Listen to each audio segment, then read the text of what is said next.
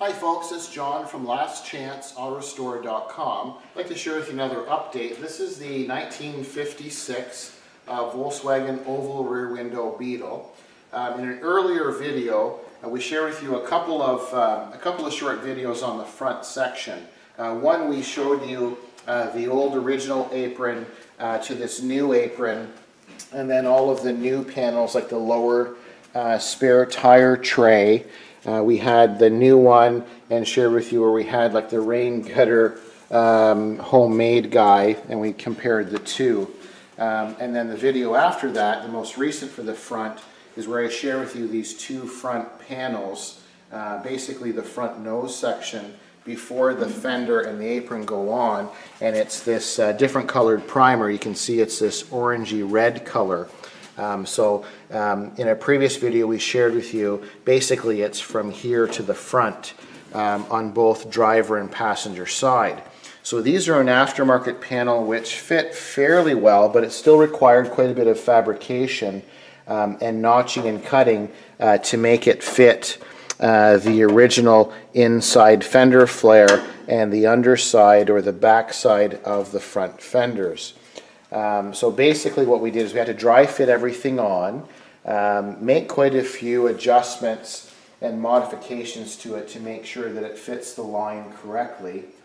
Um, and then we, we basically bolted, these are the original fenders which need quite a bit of love, um, but we wanted to use those for the original guidelines uh, for the fit and finish uh, before we got into uh, any of the crazy welding. So uh, you can see now it's coming together quite nicely. Um, we'll share with you um, uh, soon, uh, we'll have these fenders off and we'll show you how nice it looks on the underside. Uh, we wanted to kind of give our client um, the, uh, the overall look of how well everything fits um, and how things line up. So you can see the bottom of the apron to the fenders on both sides. Uh, these are just dry fitted in briefly, but you can see um, these are excessively rusted. Uh, the pots have had lots of repair. You can see where there's separation, where it's just basically pulling apart or pulling away. Uh, we may consider uh, replacing these front fenders.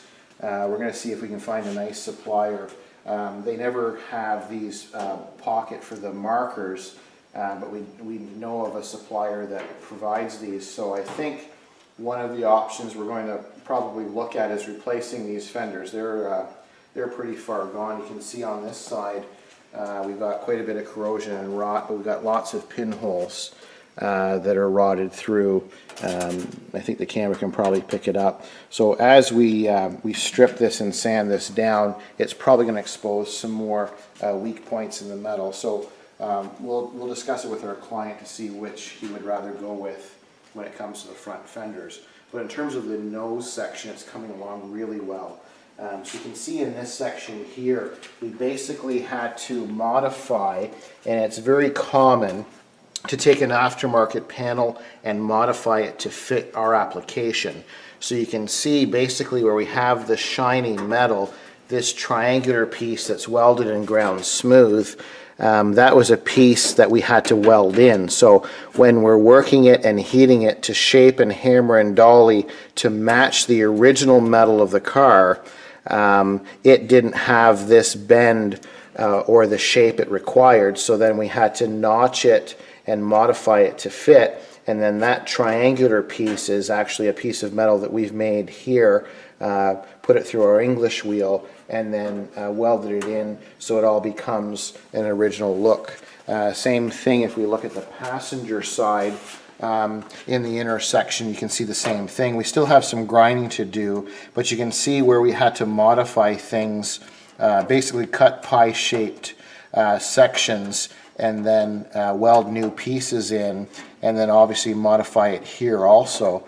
Uh, so later on, after we finish the grinding and cleaning, and we do the smoothing process, no one will ever know um, the level of, of fabrication or modification that had to take place to make all of the cosmetic stuff look nice. So um, just a brief update, you can see the inside tray. There's still quite a bit of work to do where we have uh, rod out from where the, um, the reservoir for the fluid uh, sits. We still have to make pieces like there um, and then up into here where the speedo cable comes through. We haven't done that yet. But we wanted to do the bulk of the front nose, the inner fenders, uh, the inner and outer front and rear aprons and the tray.